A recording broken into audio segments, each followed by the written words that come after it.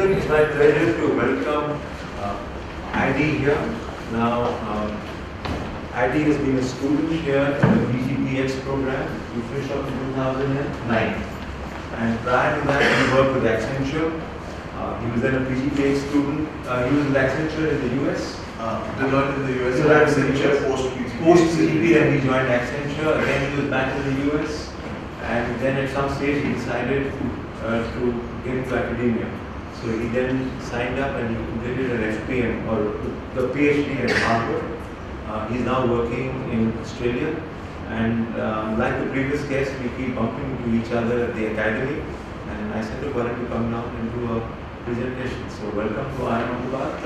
And you have not stepped after you finish your PGPX. Not very much, no. No, it, it is a 10 year gap, so it's, it's a great opportunity to come back after a 10 year gap.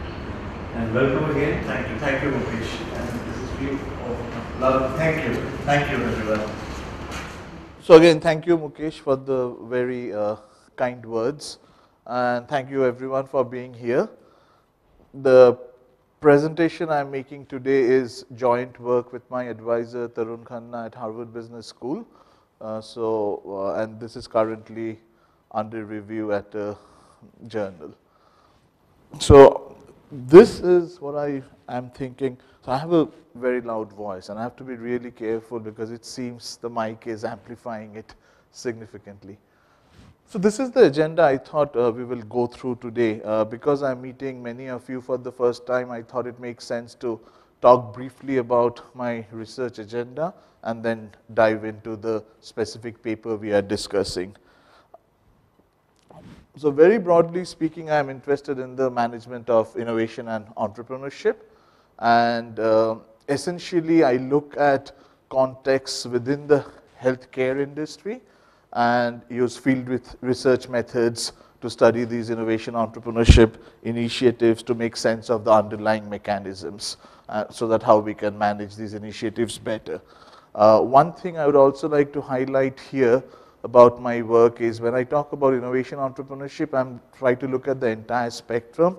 So like process innovation in healthcare, product medical device development within healthcare, and uh, even operating model, business model level innovation. So I try to cover the entire spectrum.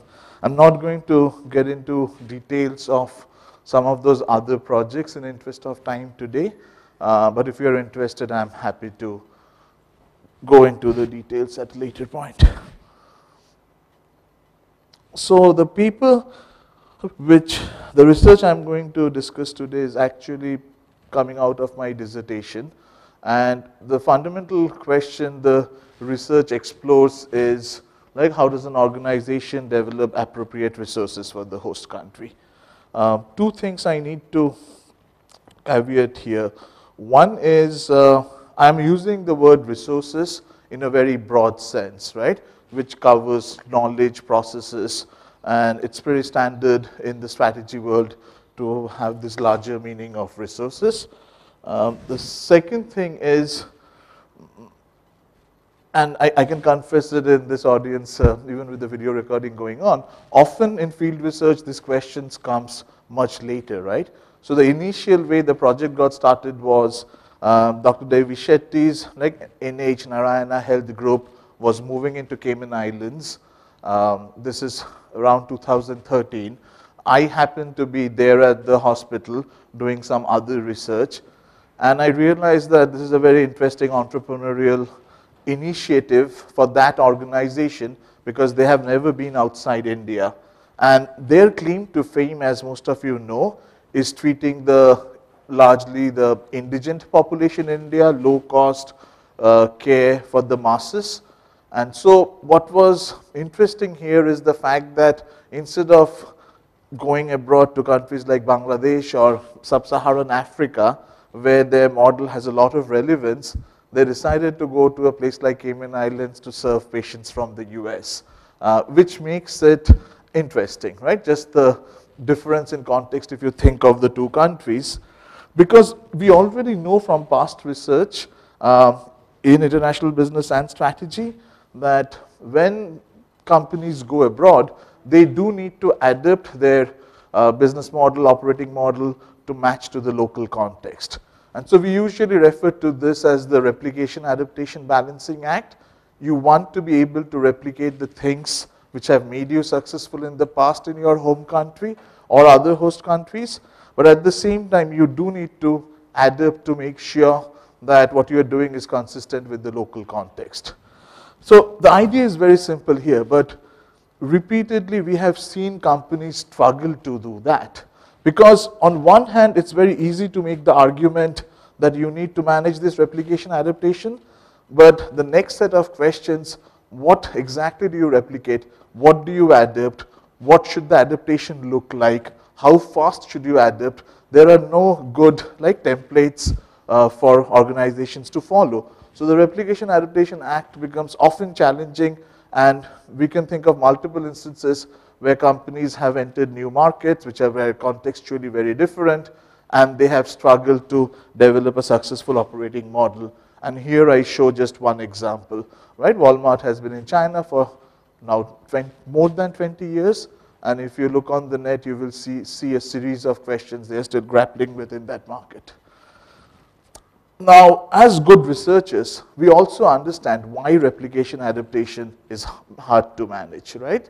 So, a series of explanations have been offered. I'm not going to go through all the bullet points, but I'm going to highlight the second last one, specifically the idea of causal ambiguity, where we claim uh, in causal ambiguity that organizations often themselves do not know why they are successful, right? So they do something they believe, but they are not able to separate out context, like advantages they have by being embedded in certain context or environment or having access to certain resources or regulatory advantages they enjoy because they're so used to it. It's like oxygen. So when we have oxygen, we never think of oxygen and we function without it, without thinking of it. And so those kind of things come in. And the other thing is in causal ambiguity, they will claim that you have multiple input variables, but it's very hard to know how they're interacting with each other. And this goes partly into the NK literature, uh, if, if, you think of the NK landscape challenges. So, so there is this whole causal ambiguity issue, which then says that if you go into the host country and you start adapting certain things, leaving other things same, like replicating other things, it's hard for you to predict what the final outcome will look like which also leads to this performance issue. The performance issue, uh, I think I should add one more thing here. The performance issue is also uh, very obvious in the initial stages of internationalization. So research has pointed out to the fact that uh, often when companies enter new market, they will see a dip in performance, they will have the initial struggle till local learning, local adaptations take over, and eventually after a period of time, they start like moving up in, on the performance curve. So given all this, the one of the proposed uh, mechanisms which has been advised organizations should follow uh, is this mini idea of mini jumps, right? So what essentially it says is that do not go, do not take big jumps into countries where the context is very dissimilar. Of course, the risk is higher. Make smaller jumps to contexts which you are more likely to manage, which are similar to where you have already operated. And by doing a series of similar jumps, you can then cover or traverse the bigger contextual difference which you are thinking about. Now, this logic, as you would expect, is very much counter to the jump NH is making in our case study. Again, going from India, largely indigent population uh, segment, to US, to Cayman Islands for the US segment. And that itself makes uh, this particular case a, like a theoretical sampling candidate, right? So by, I mean, I, it's not a representative sample um, in field research. I'm using a theoretical sample. I pick it for specific reasons because it's an outlier, because we hope that it may help us build theory or discover new theory or propose new theory related to this is the idea of recombination, right? So when we were talking about these mini jumps, one of the related idea is, uh, and I think Perkins recently also mentioned, referred to it, that when you go through these multiple host countries and you end up on the nth country, you may be able to recombine past experiences from different markets, which is what gives you the advantage now to deal with this very unfamiliar territory because you have a whole lot of experiences and learning and resources to fall back on. And it's a great idea, right? The idea of recombination is not entirely new. In fact, the idea of renovation, recombination is almost 100 years old, and it has been shown empirically um, using uh, patent citation, using bibliographic references. So it's a well-established idea. We, we talk a lot about recombination in the product development literature, where you can make a new product by recombining right, parts or components of other products. Now, building on that, yes, the recombination idea should be uh, feasible in internationalization context, but uh, the unfortunate fact is uh, the discussion has not gone much beyond, right? Uh, so no, there are some real questions. If recombination has to happen, what are the mechanisms? How can a country manage to do an exhaustive ass assessment of resources which are geographically scattered across countries and then make a decision of which ones to pick and use in the host country under consideration. And also, uh, given that there will be some level of tension and competition between each of these different countries, uh, the, does anyone really have access to all that information, resources? Do they have the understanding to be able to recombine? A lot of those questions have not been fully explored. And uh, I think our research addresses some of that. What we find in the NH case, uh, NH, the journey to the Cayman, is that uh, recombination is not only possible, we show how it happens, we look at the mechanisms, but the more interesting thing here is uh, we observe that recombination is possible just pulling resources from the home country itself if the home country has some level of heterogeneity. Uh, what that allows, so in a heterogeneous country like India specifically, you can think of different market segments.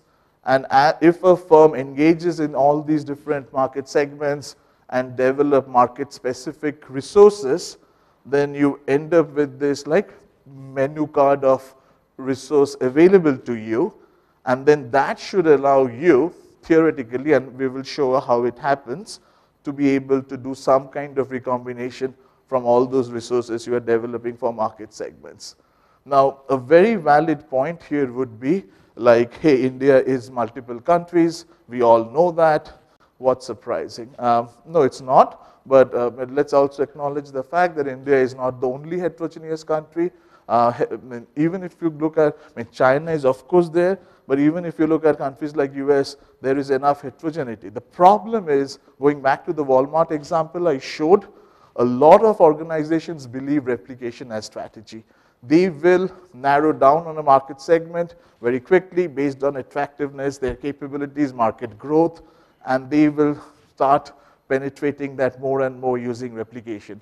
If you think of Apollo Fortis, like as other hospital groups, they have used replication as a strategy. I mean, I'm just using Szulanski's like paper title in SMJ, and they have used replication as a strategy much more effectively rather than trying to cover a broad range of segments. So Walmart, right? Walmart has a typical operating model in the US, outside big cities, large warehouse-like layout, and that works, and they have replicated it again and again. So when they come to an entirely new context, it takes a lot long for them first to figure out what they need to do. And there, there's a related question at a cognitive level, can their managers handle and go through this design process easily because they may lack that flexibility. So that's what we see and we argue that if a firm is adapting to this, all these heterogeneous market segments, you, you start developing how context influences your operation. So the causal ambiguity starts going down so for example, if you're in Bangalore and you're used to like uh, access to resources, let's say nurses, and then you go to a small town like Kolar and you don't find nurses, you have to rethink your operations differently, right? So you cannot take availability of nurses as, like as granted. So those are the kind of subtleties which allow you to reduce the level of causal ambiguity you experience. You also develop design capabilities, and finally you end up with a much broader set of resources across these segments. And then theoretically, you should be able to recombine from these segments. So what we argue in this paper is what we are offering is a process model of recombination in the internationalization context. So what we are essentially saying that the idea of replication adaptation has long been recognized. But we are showing one way to adapt is by recombining multiple resources which you might have developed even in your home country. Uh, and I will come back why a single home country heterogeneity is better than multiple host countries. And if you, you might already um, have realized that, it's just the challenge of having access to that diverse set of resources across multiple host countries, having the understanding and going through the integration process becomes a lot more challenging when the set of resources gets geographically dispersed. It's not under your control directly. Uh, specifically, right, so some of the doctoral students requested like what happened during the RNR. So when we first made the submission, um, we didn't have a well-developed process model. We didn't talk a lot about the mechanisms. Um, so, and so there was pushback on that. So in the next round, we went back and so we had to like, we came up with like six distinct mechanisms, right? And we showed how each one works. And of course, we have a very nice process model in the paper, which I didn't draw, but these are the six mechanisms, the process model, the whole idea, right? And I'll quickly go through these uh, mechanisms at a more theoretical level now, but then when I go into the case facts, you will see the association. The first is, right, you have to develop diverse resources to address the contextual heterogeneity. Now, this is a choice. So one of the reviewers uh, kept pushing back, saying that, do you mean that all companies in India will be able to do it? We never claim all companies will be able to do it. You are only able to do it conditional to the fact you have engaged with the heterogeneity and have developed a broad set of resources. Just because you happen to be from a heterogeneous, high heterogeneity country doesn't guarantee that you will be able to recombine. So this is a choice a firm makes. This is where, sorry, this is where agency and leadership becomes important. You do develop, going back to my point around reducing contextual, uh, uh, sorry, causal ambiguity, the second point is related to that. You, you develop your design capabilities because now you are building operations or business models for varying contexts again and again. So now you, you're not, your mindset, you, you end up having more cognitive flexibility of problem solving. Third thing is very important, right? Retention of knowledge about diverse resources such that you will be able to retrieve those at a later point. This is my point against what I believe recombining from multiple host countries will be a challenge because this thing will go against when resources are spread over multiple host countries. But within a home country, that information is more easily available and better understood by senior management. The fourth point is when you think of expanding in the host country, you almost have to do some kind of a problem decomposition and think what are the key things we need to address. Uh, because that was makes sure that the recombination process moves forward. Then the fifth and sixth is essentially making the connection of the sub-problems you have to solve in the host country to the resources you might have developed back home earlier and then integrating them in a way which is effective in the host market. So in the host country. So these, uh, so there's a process model and we had to add a section and then tie our case narrative well with these mechanisms so that the reader can clearly see that these six things are going on. So one of the things we argue right in our paper is look like look this is significant uh, contribution because even though the idea of recombination at organizational level has been talked at length, uh, we do not get into questions like how does the agent know what resources are available?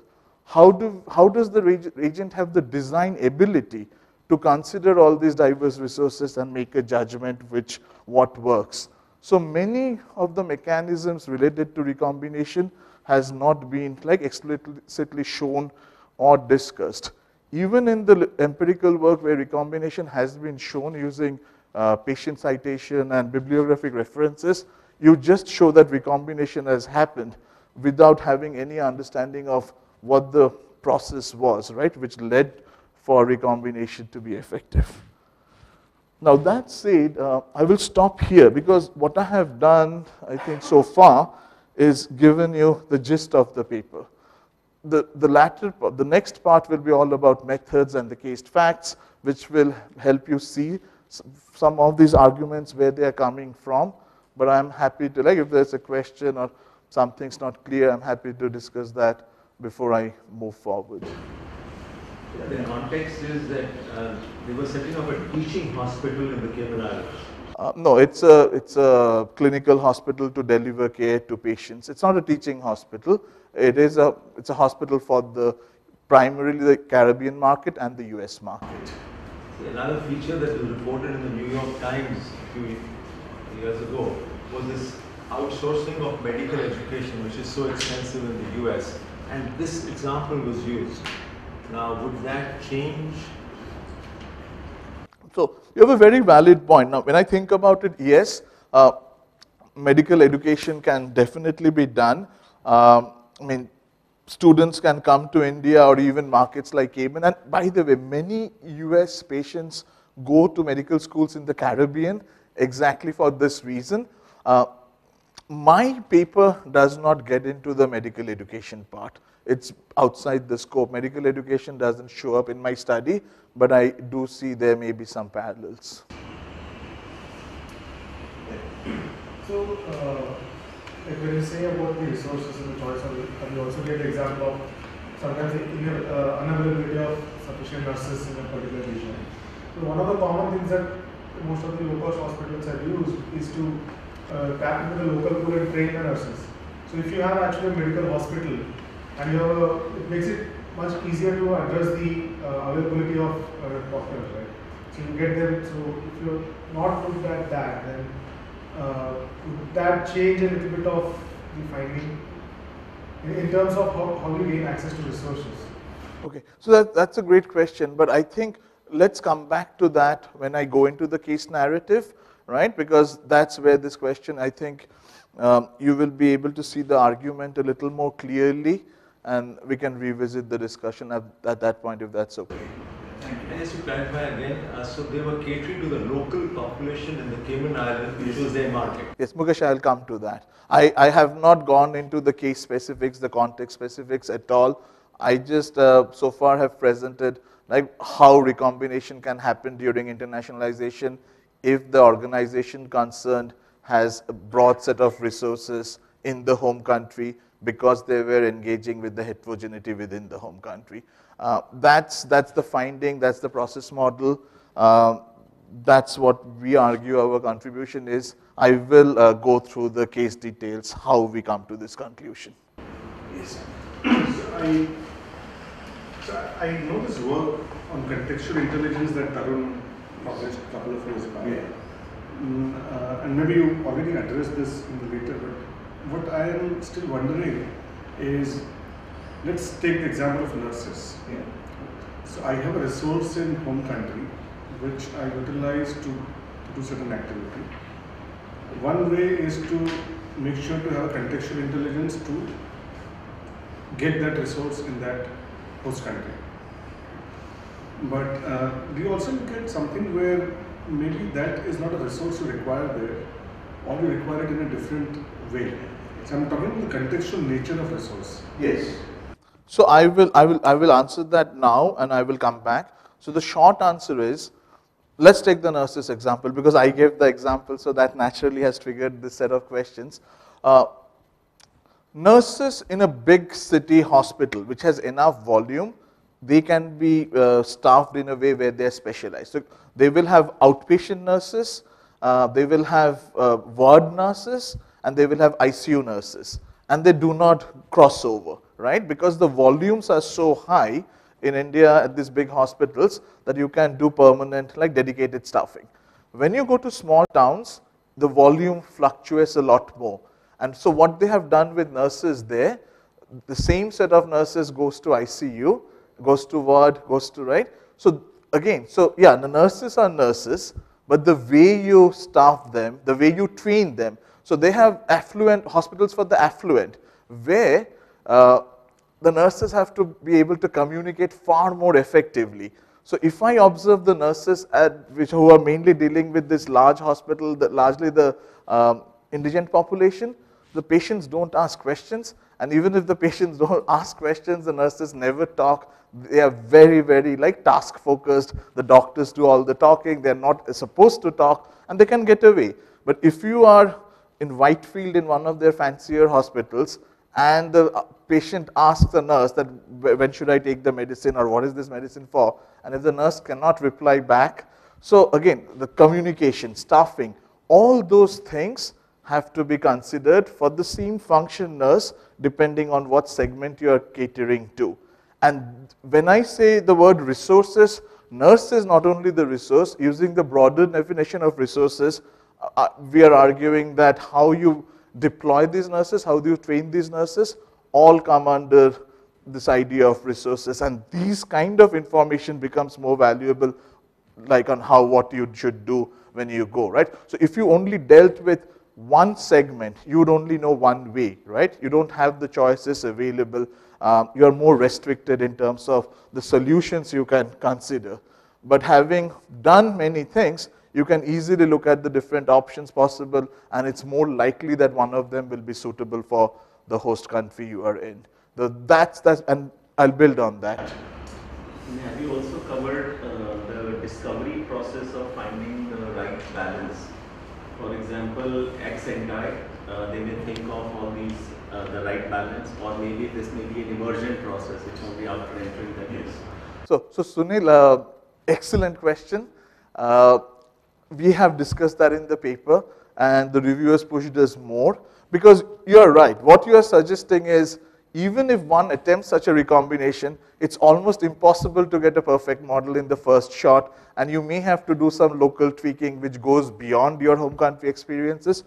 All that is there in the paper. I'm not sure how much I can cover. I will try to touch upon some of it in the last half an hour, but uh, also for everyone like who wants to look at the entire paper, I'm happy to share with you right the document over email. Uh, there are many nuances in the paper which I won't be able to get into uh, given of the time constraints, but that's an excellent question and that's something we had to like show. And even, I'm making an assumption that uh, serving heterogeneous markets is easy. It is not. We all know, right, that companies prefer, it's operationally, strategically, cognitively much easier to stick to a narrower segment than treating poor people, rich people, and having all these multiple things going on under the same umbrella.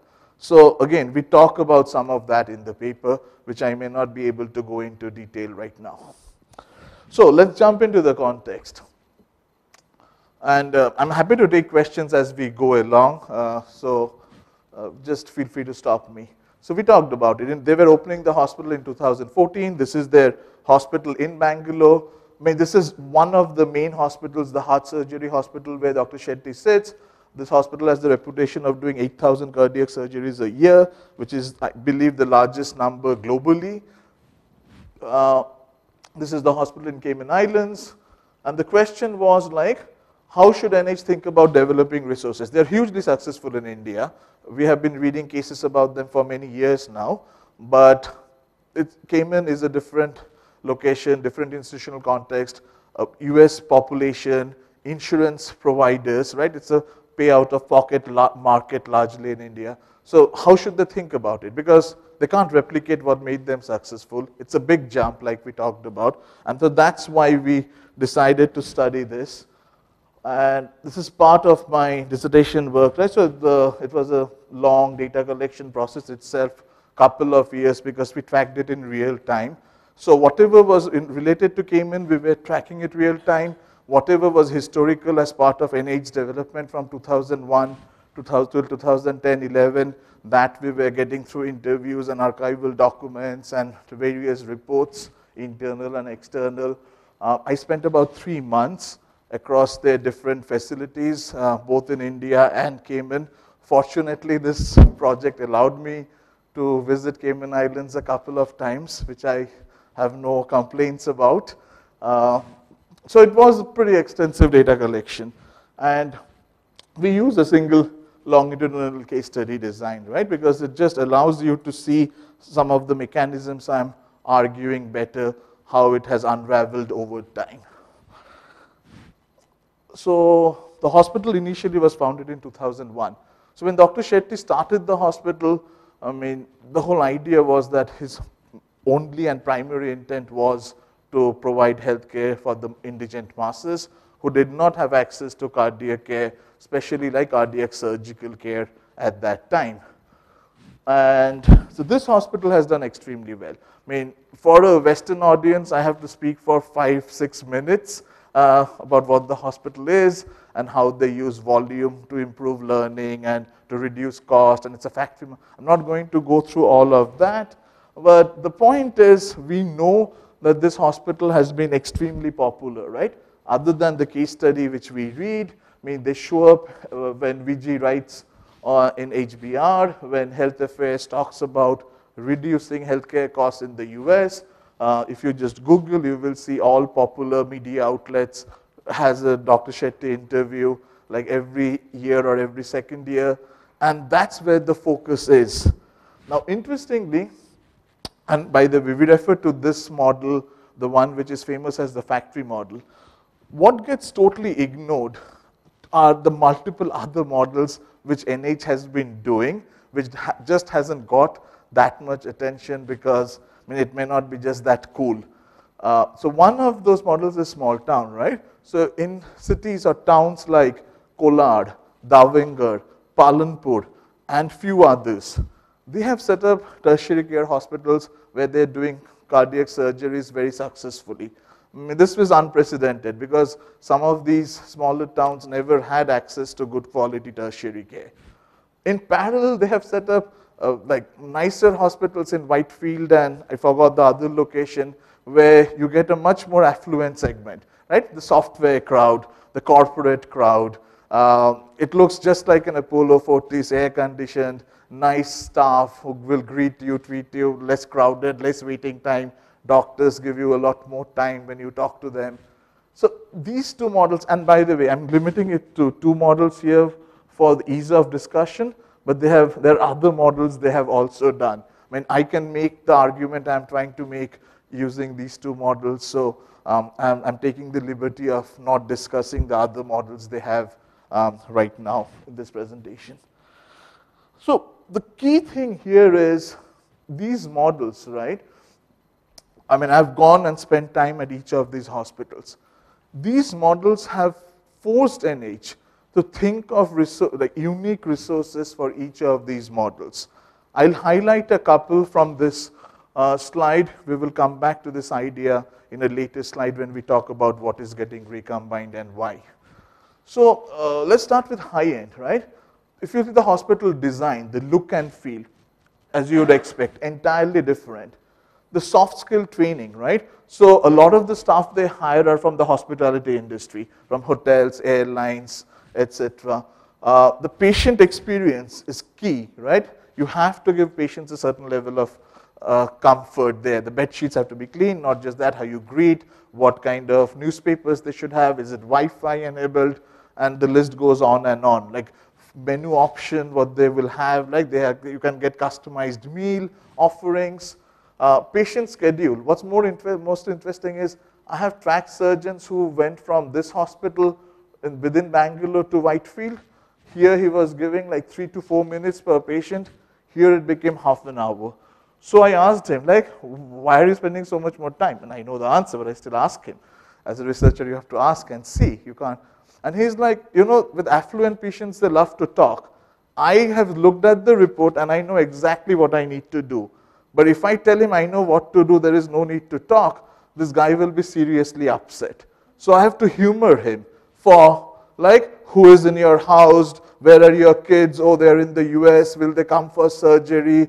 And they have to have a discussion, get your whole history, and then they feel comfortable that I know what I am doing and I have given them the attention. If I don't do that, you can't, right? So this is where, um, again, when I say resources, that's why I was highlighting that resources in a much broader sense than you would think. If NH, now I will throw this point and let's revisit this. If NH was only doing factory model or only doing high-end patients, they would not have these sensitivities on how you change your operating model design. Uh, let's look at small town. Small town again is a very interesting case where they spend a lot of time on how they do construction, the layout, uh, prefabricated like building uh, blocks. And they do that why? Because they figured out that this is also a very price sensitive market, but at the same time, you cannot fall back on the economies of scale like you can in a factory model to push costs down. So you will have limited volume, but you still have to run these hospitals at very low cost, and you cannot use scale. So then you have to do other things to reduce capex and all that to keep overall, right, your costs contained. So they spend a lot of time there. Things like material management, right? Think about it. In Kolar, if your X-ray machine breaks down, a technician often has more response time. Um, or even regular supplies, the kind of inventory or stock you'd like to maintain in your supplies room. Very interesting physician staffing. So they will always go for physicians in these small town hospitals who can cover a broad range of uh, cases. So if I'm a cardiac surgeon, in the factory model, which is very high volume, I can specialize. I can say, okay, between pediatric and adult, I only do adult cases. And even for adult cases between valves and bypass, I only do adult valve cases. And still there is enough volume for me to keep doing that and be busy every day of the week. Small town, you just don't have that, right? So they will intentionally put in doctors who can do both pediatric surgeries and adult surgeries and a lot of cases. So the choice of surgeon becomes very subtle here, right? Who you want to place. The nurse staffing we talk, right? They will not say you're an ICU nurse, you're an outpatient nurse, you're a ward nurse. A lot of flexibility. Similarly, factory model, like a lot of their uh, clinical protocols, their clinical expertise essentially comes from factory models because they deal huge volume of cases. These are often, again, from less privileged community. So they show up at the very end when the disease is like much worse. And so a lot of their clinical ability, their accreditations, like from US bodies, uh, JCI is Joint Commission International. So all that, like how you get accredited, all that developed here. They didn't worry about accreditation when they were doing small town hospitals because no one cares in that market. So resources got developed and I just wanted to show you. And as you would go, right, there is of course a strong like learning and entrepreneurial orientation which is there for this to happen, right? If, if NH was like a public hospital with a lot of MBAs, doing a lot of running a lot of Excel sheets, I'm very sure they would have advised Dr. Shetty, don't go there, don't go there, stay in this, this is our target segment. But Dr. Shetty as an entrepreneur, as a physician entrepreneur, who wanted to make a difference. He, his basic point is that, look, different people need healthcare in different contexts, and we will do our best to address those different needs. And so he never thought about optimizing which model they need to like push. So you see they were very open, right? And uh, I mean, I will just highlight this first quote, right? He, he makes the statement, if someone wants to develop a cookie cutter model and roll it like McDonald's, healthcare is not going to happen in India. And so there was very clear recognition of that fact, because of which, as a group, they were very open to get into these different segments and then design right, customer solutions for these segments.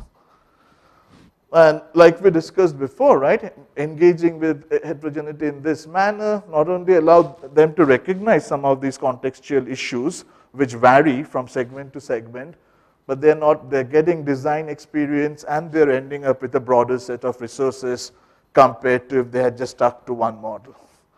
So now let's, uh, oh, and also this is, these are like small pieces I'm just adding in, which to explain the agency part. Uh, a very flat organization till 2011. So you have the hospital facility directors sitting here, right? They're, they're running each hospital. The hospital facility directors reports to CEO, Dr. Raghuvanshi, who reports to Dr. Shetty. The functional head sits in headquarters along with the CEO and chairman, uh, and the hospital functional level managers have dual reporting. Every month, I mean, I have attended some of these review meetings, all the hospitals get discussed in extreme detail, and being practicing, practicing physicians themselves, like Dr. Shetty still operates today, right? I mean, he's CEO or chairman of this very large group with 30 hospitals, but he will do surgery at least two or three days a week in Bangalore still. So the kind of discussion which happens between a hospital facility director and Dr. Shetty is far beyond the financial statements. It's about outcome, what complication developed, why the infection rate is going up or down. And because of this, the reason I highlight this is this goes back to the access and understanding of this diverse set of resources and being able to use it later on.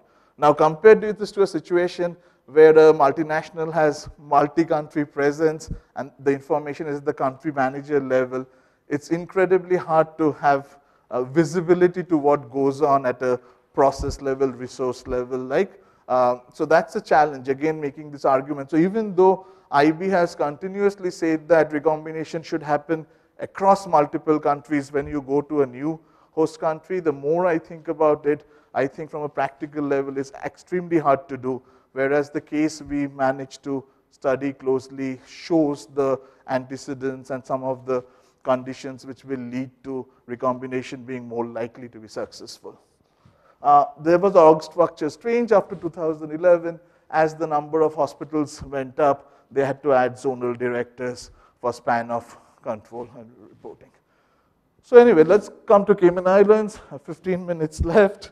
Uh, so Cayman Islands, as you know, island like about 45 minutes by flight from Miami. Uh, very small island, 50,000 people. Normally, no one would think of opening a hospital. Uh, Dr. Shetty knew that getting into US with all their regulations right? And opening an hospital isn't feasible. He had always maintained that I wish I could have a hosp ship hospital, right? On international waters close to US, which is outside the US regulatory system and treat patients from there. Uh, Cayman almost is the ship which he dreamt of. Uh, and Dr. Shetty was always keen to take his model to the US. His belief was that the power of his model the world needs to see and by putting it in front of US, he will get the maximum visibility globally. Now, why was Cayman interested? So what happened after the recession in 2008-9, Cayman realized that their economy is dependent on financial services and tourism.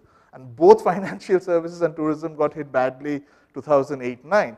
And that's when they realized they need a third pillar or third leg of, for their economy, which they thought of as medical tourism, given all the medical challenges, cost discussions in the US. And they said, we are close, we are already popular as a tourist destination, we can set ourselves as a medical tourism hub. Interestingly, none of the US hospital providers were keen to partner with Cayman, right? Because they had no incentive.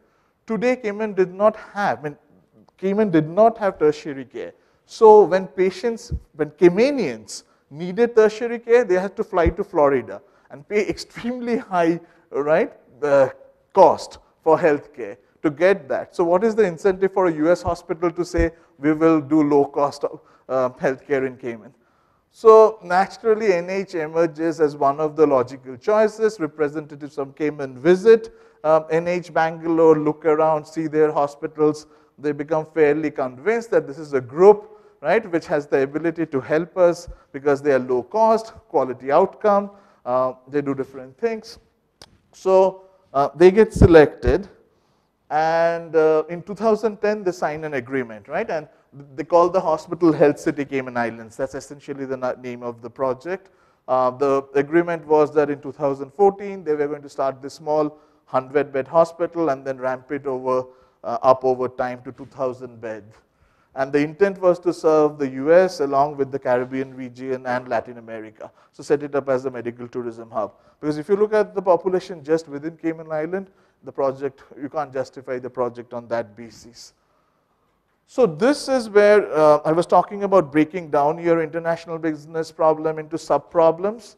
And that's where uh, NH was very clear. They need to achieve at least four things for this project to be successful. And those four are quite obvious if you look at them. One is you have to have high clinical quality, right? You can't, you can't make medical mistakes. You have to give a certain level of service because you are talking of international patients, right? Americans used to a certain like standard of service. The third thing was they needed to be accredited because accreditation matters a lot when it comes to insurance companies, when it, uh, uh, like even for all the non-market strategy, like even convincing the Cayman government they are running a, a good shop. Uh, accreditation was important for insurance companies, US insurance companies to send patients to Cayman, all of that. And um, the last thing was they needed to be cost effective.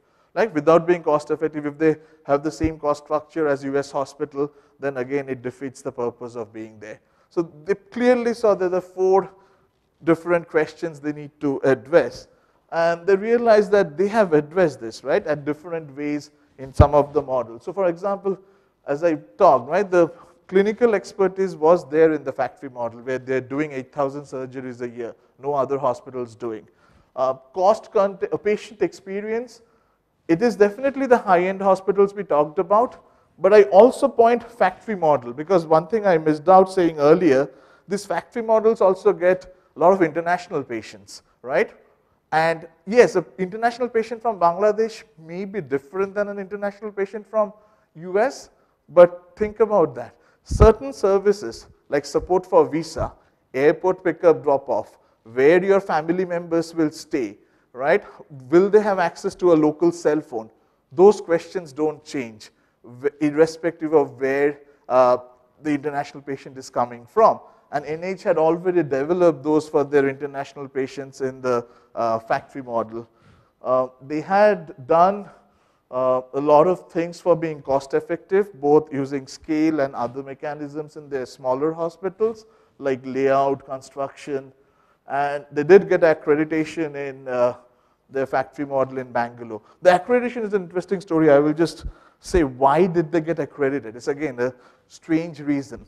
Uh, in 2008, Wall Street Journal had carried a front page article on NH saying, uh, calling Dr. Shetty as the Henry Ford of cardiac surgery. And there was a lot of criticism in the US. I mean, the standard thing US physicians said was, oh, they're doing it the cheap Indian way, right? You can't trust those numbers.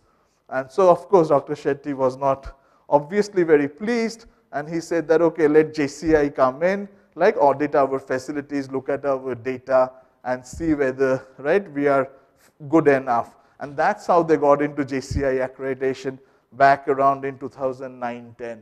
So that same accreditation became valuable now they were going into Cayman.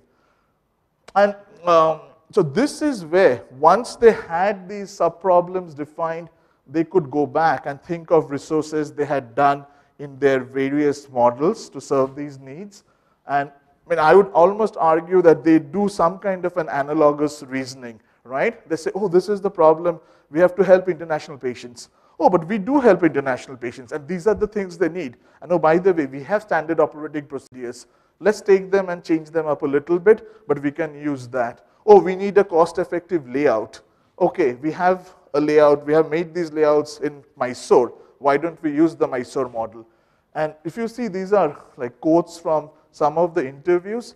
You see that uh, analogous reasoning, uh, analogous rational argument going on at different levels, right? Again, expertise, right? Clinical expertise. They had manuals written up, so they borrowed those manuals. Uh, at the high-end facility, they asked the architects and designers to go and look at their high-end hospitals in Bangalore, how they have done it. And of course, they did adaptation on those, but they had starting point. They already had an idea. Uh, okay, staffing, if you see, uh, okay, that's the surgeon, surgeon argument, right? And I know like the surgeon they have put in came in Dr. Binoy. Like he is just amazing. I mean, Dr. Binoy used to work with Dr. Shetty for, I mean, was his like right hand man, was his like assistant surgeon with Dr. Shetty for the last eight, ten years. So he does a broad range of uh, surgeries. And Binoy was sent over to Cayman, knowing that Binoy can do that incredible broad set of cases which may show up, because you cannot afford to have 10 different surgeons sitting and waiting for patients in a new project like that, because that structurally changes your costs. Uh, again, like nurse staffing. Nurses go across ward and ICU. Uh, this allows us to staff leanly. We, so you see all that, and um, I will leave uh, this. I'm not going to read through this, but you, and this is Dr. Raghuvanshi, their CEO, speaking. Um, and you will see, with, even at a very abstract level, how uh, he's touching. I mean, the recombination word, of course, is something we as researchers have put into the phenomenon we observed. I mean, they never said that we are recombining, as you'd expect, but you see that recombination uh, mentality uh, like there in many of what things they are saying. And so this is, uh, I think, an important table, right? So I looked at the whole hospital design, and I said, okay, what's coming from high end? What's coming from the factory model? What's coming from uh, their small town? And again, this is, this is, I would say, not comprehensive, but this takes you 80% of the way when you're thinking of hospital because it covers material supplies, building, clinical expertise, staffing, the processes, accreditation, marketing. So the argument I would make, right, going back to this uh, developing different segments for a heterogeneous market helps is this, right? Think about it, like just do a thought experiment. If NH had only done one of these models in India and they had continued replicating it and had been very successful, and then they went to Cayman and they had to deal with those four questions, they will have to figure out uh, solutions for a lot of other things in real time. And of course, given enough resources, enough time, enough money, they would have figured it out, which is what we observe in standard IB literature, that initially there's a dip in performance, but then corrections take place and performance takes off. They could avoid that. That's what we would like to argue, because they could readily like pull solutions which were more appropriate and stitch them together. And uh, these are the same six mechanisms I'm not going to read through, but um, hopefully now these mechanisms, like given the case narrative, now you can see, right, why we are arguing that these are critical mechanisms for recombination to happen at an organizational level, which have previously been unexplored or underexplored. Oh, and it's the last part. Uh, so this is the hospital they developed. Let's look at the performance. Now, I know everyone in this room will argue that, and I will agree to that argument, that it's very difficult to uh, make a causal claim using a single case study. Uh, but for a minute, let's go and look at the performance. They were one of the lowest cost providers, very high quality outcomes. They did two LVADs, which are extremely complex surgeries where you put in an artificial machine to work as the human heart. Uh, it never happened in the entire Caribbean region. About 10 hospitals in the US will do LVAD surgeries. So that got them a lot of attention that how can a hospital within six months of opening start doing LVAD because they were doing LVAD in India. Uh, the patient feedback in terms of experience has been very good. They got JCI accreditation in one year, which again is unusually fast to get an accreditation, a hospital opening and getting accredited within a year, uh, and so on and so forth. So a good question is like, was it a complete success? The honest answer is no. What happened is the volumes they had estimated for patients, uh, the volumes did not show up. The volumes were lower. Um, and there are, I will give you the reason and I'll give you what it means for the recombination argument.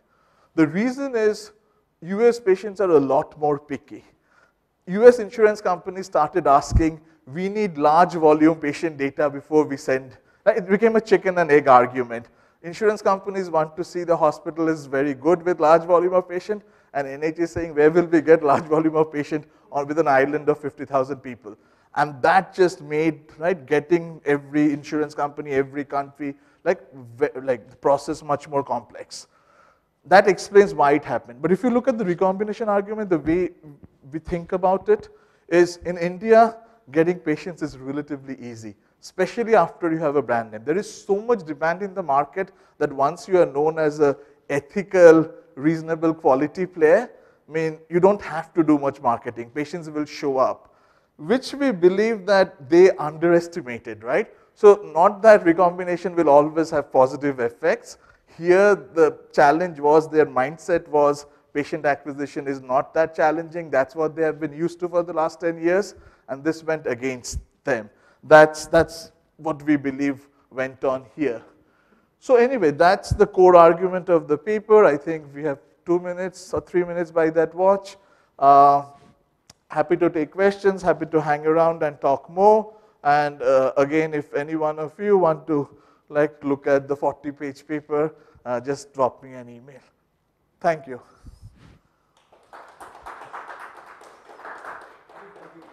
Thank you.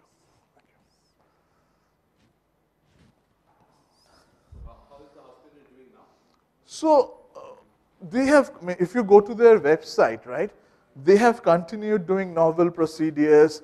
They have continued to sign up and get new countries on board. My belief is, and I don't track it that actively anymore, uh, my belief is uh, the volumes are still behind what they would like. Now, one thing also, like in interest of time, I had left out uh, is we specifically looked at the first year performance because our argument was if you look multi-year performance, then we have no way to untangle the effect of recombination versus the effect of local learning and real-time adaptation, right?